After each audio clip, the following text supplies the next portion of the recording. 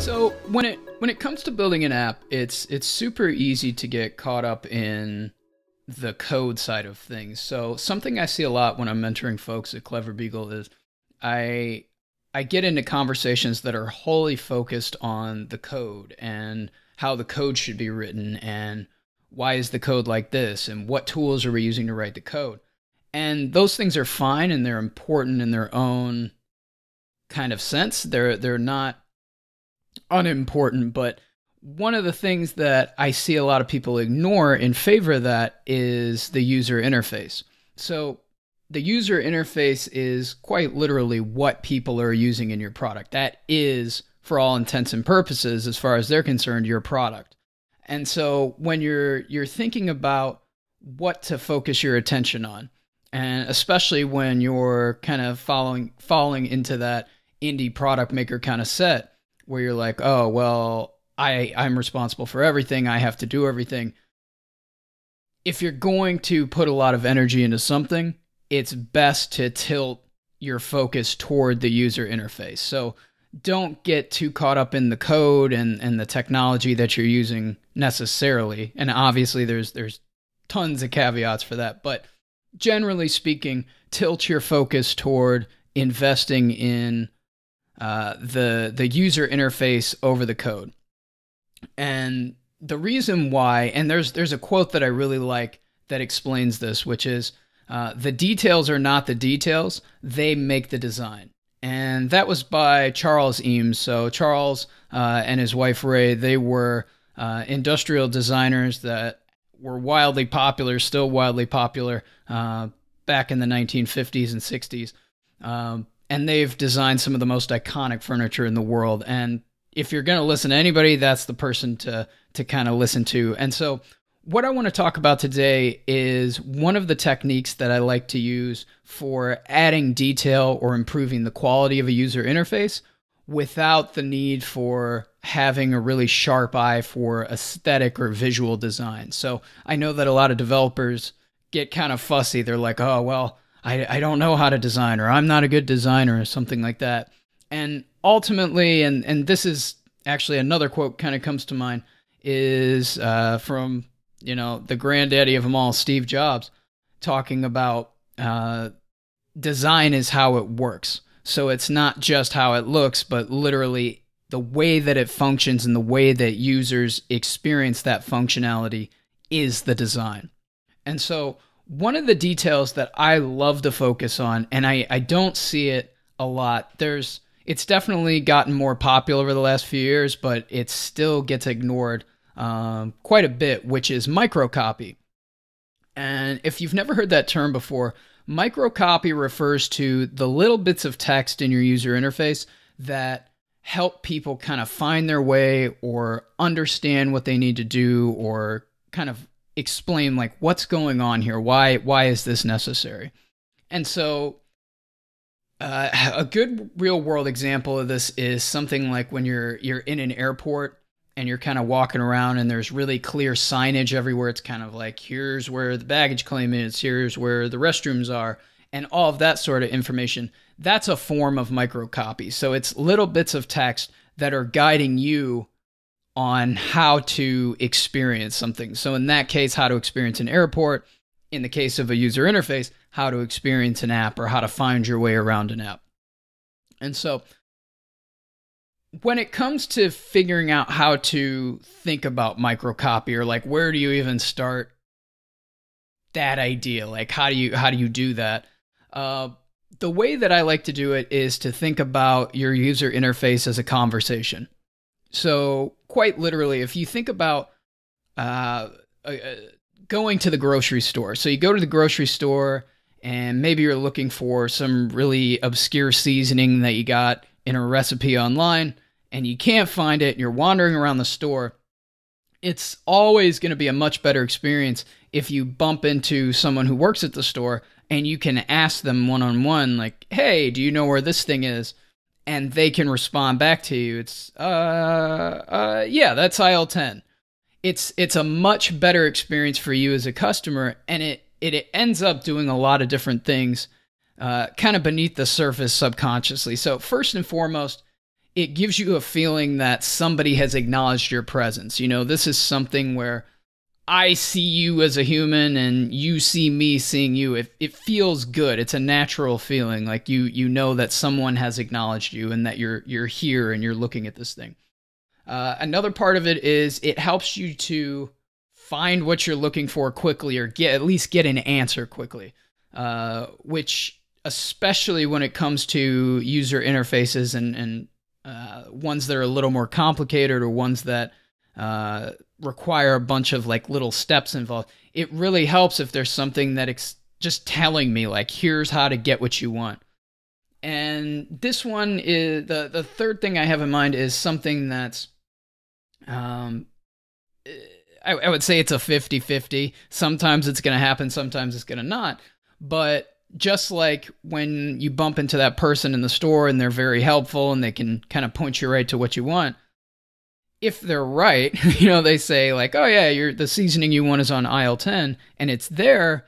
Deep down, that's giving you kind of a, a warm feeling or a good feeling about that place. Um, not just because that one person was helpful, but that store kind of collectively set their employees up to make sure that all of their customers have a good experience. And so it kind of subconsciously tells you to go back later. You're kind of like, oh, yeah, I remember they were really helpful the last time I went in there. And so when it comes to microcopy, you want to think about it in this context. You want to think about it like it's a conversation. You want to say, okay, um, how would my user interface exist in physical reality? Meaning, um, if I'm building an application for something like a uh, maybe it's an app for booking uh, therapy appointments, and I need to collect information about the user. So if we think about that in a real world context, okay, um, if I go to a doctor's office or a physician's office, I'm going to meet with a receptionist, and they're going to need to take down my information, check me in, uh, maybe get some insurance information, like all of these details an application that kind of replaces or aids in the process of that receptionist job is no different. So there's going to be a conversation of sorts that's going to take place when the user is completing a form, we'll say. So maybe they have an intake form in the app and it says, What's your first name? What's your last name? What's your social security number? What's your medical history? All these things. And so where microcopy comes in, and the way to think about this stuff is well, that form is technically a conversation with the person that's filling it out. And so what you can do is design the microcopy so that it's it feels like they're speaking to a human. Now, obviously there's limitations to this and it, if you're not careful it can get a little weird and, and we'll we'll talk about that uh, in a few minutes here, but uh, what you can do is kind of tailor it as though they were talking to a human. So, uh, a way that I like to do this, if you think about form inputs. So like uh, type your first name here, last name here, email address here. I'll kind of liven it up like I would if I was a human. Like I'm not just going to talk to somebody like first name, last name. I'm not going to say those things. I'm going to say, "Hey, what's your first name? What's your last name?" And putting like little bits and bobs of text or microcopy before field names really livens up the interface. It makes it feel like a conversation. So if you say, "What's your first name?" it feels kind of like I'm in a conversation or I'm talking to a human. And so it makes interfaces a hell of a lot more approachable. Um, and it makes it a, a much better experience for uh, your users as they're kind of going through your application. And so that's the, the core idea. You're trying to make your interface feel less robotic or less like they're using a computer. And the reason why, again, it plays back into that emotional sense and that subconscious feeling of like, I, I think I'm in the right place. And it's because you're taking the time to really S out those details around how you're speaking, even though you're not technically speaking to a user, you're speaking to them indirectly through your user interface. And even if it may not seem like it, users are incredibly discerning. Like they'll pick up on details like that, even if they don't know why they like it, they can't articulate it, they're going to know that like, oh yeah, that was that was really easy to get through. And microcopy is one of the ways that you you can you can really improve stuff, and it's cheap. It's not something that uh, requires too much thought or too much thinking. It's just thinking like, well, what is the user going to need here? Like, what do they need to know or that isn't immediately obvious? Like, what's something that we're doing in this interface that isn't standing out? And how can I clarify that by improving the way that I write the copy or the micro copy around the interface? So that's that's kind of like part of the equation.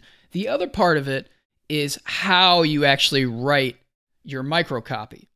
And more specifically, what I'm getting at here is the tone. So when you're writing microcopy, it's important to always keep in mind what context is that copy being read in. Because it's very, very easy to kind of teeter the line of writing microcopy that's technically good, but contextually bad. And so, what I mean by that is consider uh, what we were talking about before with the, the whole what's your first name or first name here. So inevitably, there's going to be a time when a user kind of speeds through a form and fills it out real quickly, and they're going to miss inputs.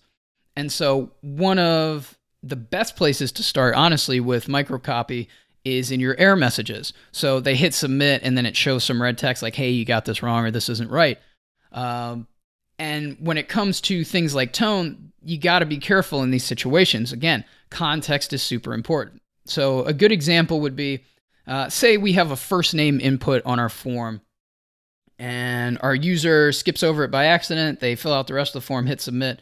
We're going to show them some some error messages. We're going to show them some text. And so we want that text to contextually feel right. The tone should match the situation.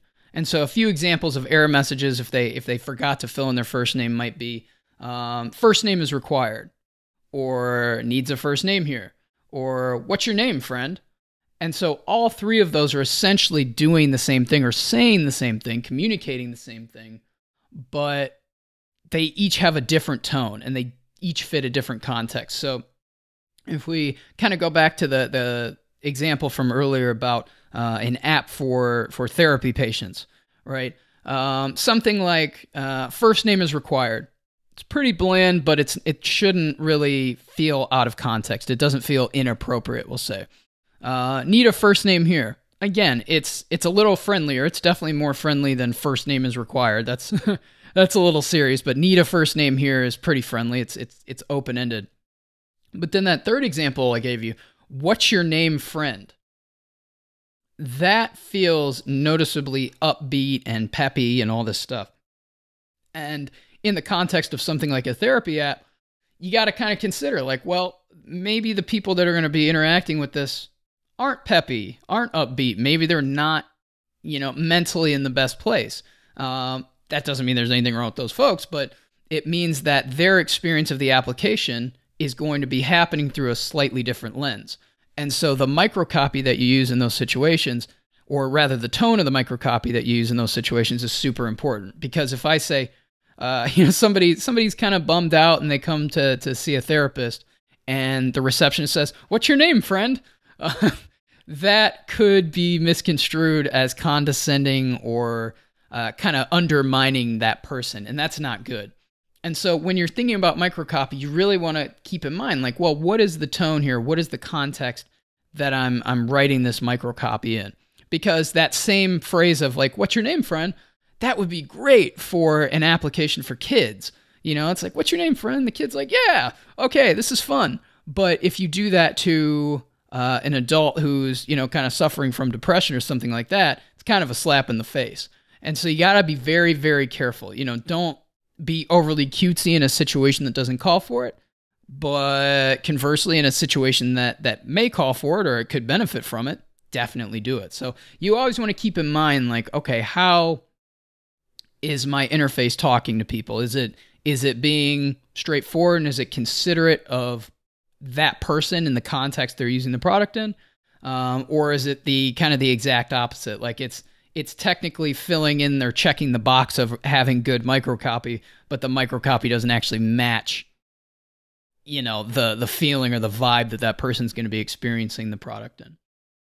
So, what I want to do to kind of to kind of round this conversation out is give you some examples, and I there's there's endless examples here. So I'm going to give you a handful that I think are really good places to start in your product. But um, don't let this limit your imagination. There's tons of stuff that you can do, and I highly encourage you to get creative with this stuff because it's it's one of those details that again, it's easy. All you're doing is really just adding text, but the way that that improves the experience for the user is crazy.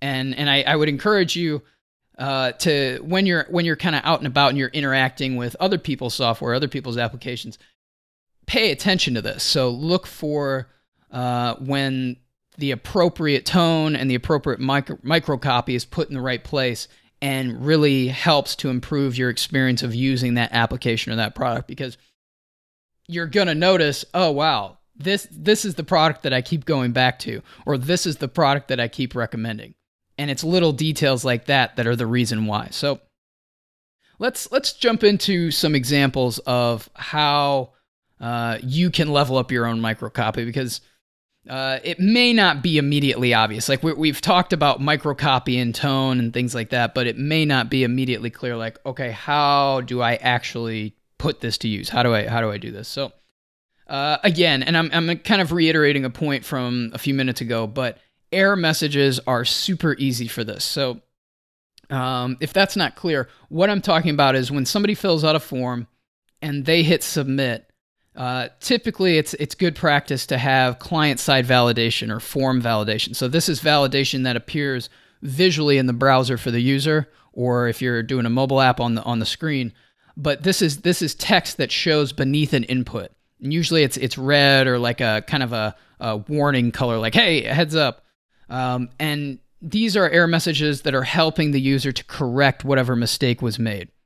And this is again, this is a great place to start because it's it's something that it, it's pretty much required because if you're building forms without uh, client side validation, probably means that you're having some real headaches on the server side when you're trying to put data into your database.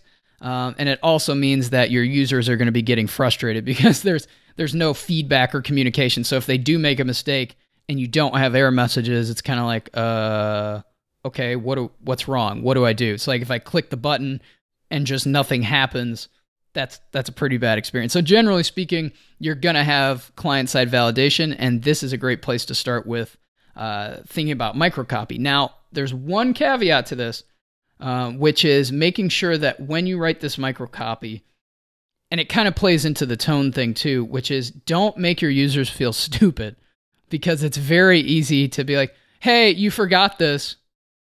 and it's kind of like there there's a number of different reasons why somebody would have forgotten something. Uh, maybe they were going too fast. Maybe it was actually their fault. They they missed something. But you don't want to assume that, and you don't want to be like, "Hey, you got this wrong. Look what you did. Hey, hey, hey," because it's going to give them a crappy feeling. They're like, "Oh man, this form just bummed me out." You know, I'm like, I filled this thing out and I didn't get it quite right, and now it's you know like making fun of me. Now that's extreme. I'm, I'm hoping that most people aren't doing that, but uh, I have seen examples of it where it's it's kind of tactless error messages where it's just like uh, you need to fix this or something like that. Again, it's it's something that's pointing a finger. So definitely think about your error messages first, but but consider that okay, maybe I need to be a little lighter on folks and not not just make it sound like they made some massive mistake. So that that's number 1. Number 2 is a detail that I personally love to add to things, which is clarification on forms. So this isn't talking about the the labels or the the error messages or anything like that. This is stuff that's kind of saying here's what to expect. So it's trying to demystify because if you think about especially with forms, they're kind of like the door that people are going to stand at or go through into whatever the next part of your application is. And so when you're filling out a form, well, you have to consider that well, we're collecting all this information for a reason. This isn't accidental. This has a purpose. And so what you want to do is think about like, well, what is the purpose? So what is the end goal or what's going to happen in response to you collecting this information? And then once you understand what that is, go back and communicate that to the user. So clue them in on what's going to happen. And the reason for this, again, is it's making the user feel comfortable and things like that, but it's also making them trust you. Uh, because with all of this online stuff, especially when you get into taking payments and things like that, it's super easy to throw a credit card form on a page. And so with all the the hacking and the security problems and all the stuff that's been coming out the last few years, you got to keep in mind that a lot of people are going to be paranoid. They're going to be like, eh, this doesn't look terribly uh, legit. Like this, something seems not right here. And so you want to consider that. And one of the things that you can do is add little bits of copy around elements that are kind of signaling go to the next step or go do the next thing. So, an example of this would be if you have a, a sign up form for your application and you've taken somebody's credit card number, maybe their email and password and all that stuff, and they're, they're going to start a trial of your application. It would be very good to have some microcopy near the button that they're going to click. So, if it says something like sign up and get started, near that button, so usually I'll put this as like a, a slightly smaller font size beneath the, the button that they're going to click. I'll I'll tell them what's going to happen. It's like, okay, when you click this button, we're going to start your trial. This trial is going to run until this date, and then we're going to charge you this amount of money, and we're going to do that every month until you cancel your subscription. So that may seem unnecessary and, and unnecessarily wordy and all these things, but for the users that are kind of on the fence where they're like, ah, I don't know about this. I don't what's going to happen? Like am I how long does my trial last? What's what's what's actually going to happen? By adding microcopy, what you're effectively doing is you're clarifying, okay, here's exactly what's going to happen. There's no surprises. We're not trying to mislead you. And that's going to give a level of comfort to that user that they would get in the real world if you were to answer their question of, like, oh, okay, so what happens after I sign up? Same exact thing. Again, conversational interfaces. So this is a form of conversation. It's a short conversation, but it's an important conversation. So when you click sign up and get started, this is what's going to happen. It's not a surprise. It's not going to, you know, make the person be unnecessarily fearful of what's going to happen after the button is clicked. And again, this may sound silly, this may sound unnecessary, but these little details are going to help those users who would have that kind of apprehension about uh, performing some action or step in your application if the UI doesn't totally communicate that like okay this is this is legit. Um, so that's that's that's number two. Number three is button labels and what I like to just call next steps. So typically I, I think about these in like the it's like the wizard UI. So if uh, what's what's the word I'm looking for? It's onboarding. So when you when you first sign up for an application and they kind of walk you through like here's what the application is, here's how it works, here's what it does, here's how to find this, blah blah blah blah blah. When someone's moving through that process, typically you're going to have a way to move between the steps. So you'll have like a back button and you'll have a forward button or a, a next button.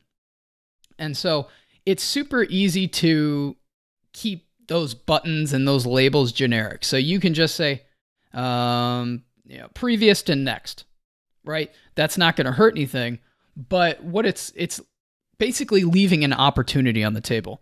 And that opportunity, just like we we just talked about with the the text that's kind of demystifying what happens next when you click the sign up button, in flows like this where you have a bunch of tasks that you need to complete as the user, it's demystifying what's coming next. It's going to set an expectation for you. And so it kind of primes the user's mind to think like, oh, okay, this is this is what's going to happen now.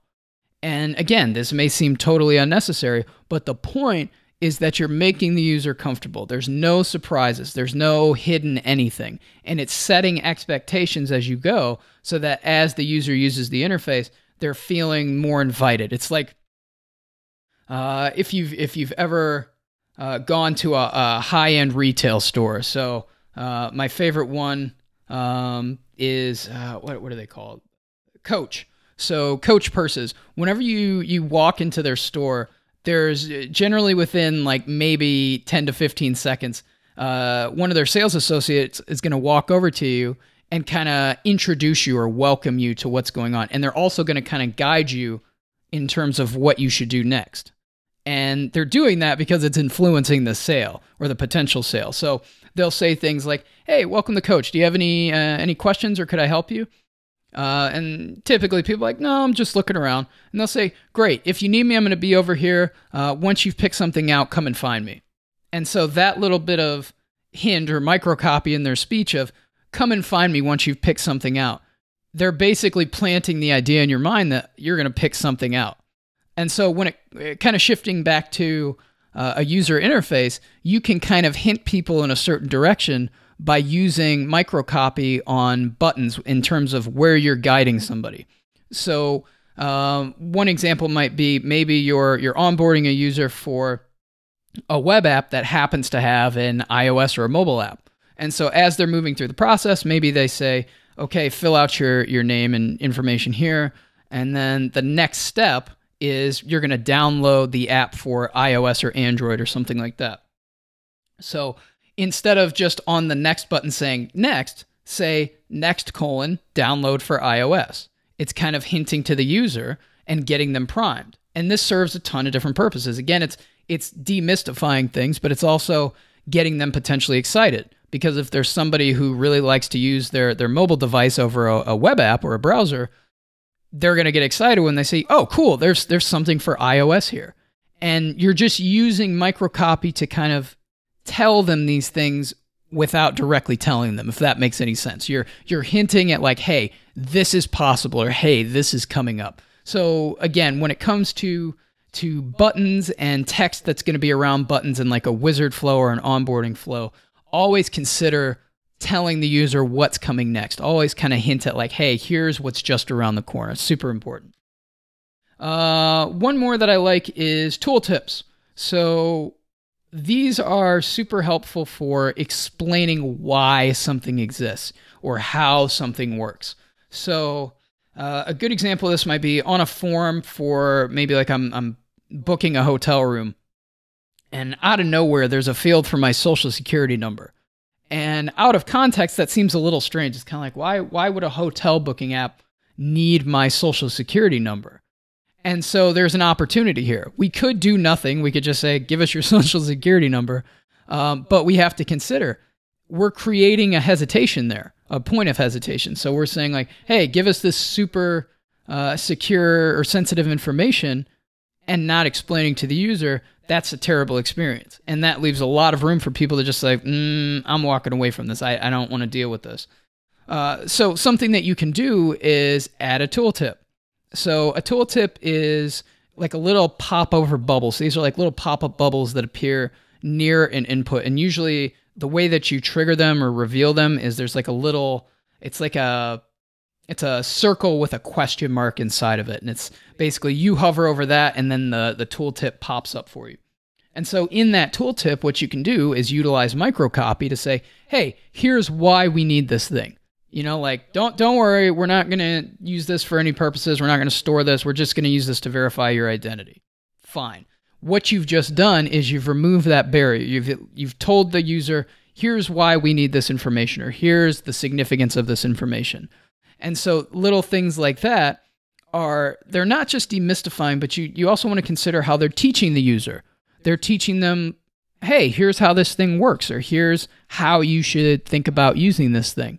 And again, you're building that rapport with the user through a conversation in your user interface without actually being physically present. You're not talking to them necessarily. You're talking to them indirectly. You're saying, like, hey, here's what's going on here. Here's how this works. Here's why you need to do this and it's just making it that much friendlier for the user to interact with and it's making it a lot easier for them to trust what you're what you're uh, trying to get them to do or where you're trying to lead them.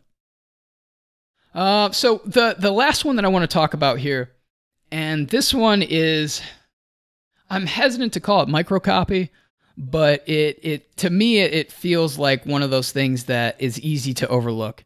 And i'm gonna pick on somebody here Hopefully, this doesn't get me in trouble. Uh, but there's one that that really gets me, and I come across it often, uh, and that's the database service compose. And I, I come across it often because typically when I'm working with mentees at Clever Beagle, uh, and we're starting to put their their apps into production, we'll use uh, the compose database service because it's really easy to spin up databases. But there's there's one little part of their interface that I always have to explain, and it's one of those things that I'm kind of like, why why was that the choice? And I haven't bothered to to reach out and ask him. I've just kind of you know belabored like explaining to people like, hey, okay, this is what this is, this is what this means. But I, I this just thinking about this example makes me want to consider it as something to think about in your microcopy, and that is navigation labels. So literally the the menu items or navigation items that you've got like the top of the page or in a hamburger menu that flies out or literally anywhere on the page, anywhere you have like a list of menu items. And the thing I want to pick on Compose about is what they're helping you to do is set up databases. So you're creating databases to store data for your application. Relatively straightforward concept. Um, and so when you when you sign up for Compose, they have this concept of a deployment. And a deployment is a group of databases. So basically, they're saying like, here's a deployment for uh, your app. So like right now, I'm working on my SaaS command, and I have a deployment on Compose called Command, which groups together all of the different databases that I have. So I have one for uh, production, and I have one for staging, and every so often I'll spin up a third one for my development environment if I want to see how things are going to behave with a remote database. So I've got my my command deployment, and I've got all of my databases for my different environments. And when you go to the Compose interface, they they have a, a, navigation. So you you click on your your deployment and then you get a sub navigation for your deployment. And the first few times you use it, you're like, where where the hell are my databases? How do I create a database? What where are the databases? And what you find out is that the navigation item to get to your databases is labeled browser, not databases. So you would think like, oh, I should be able to click on a menu item called databases to get to my list of databases, but in this case, for whatever reason, they've chosen the word browser. And again, this is this is microcopy in a sense that's trying to help the user find their way.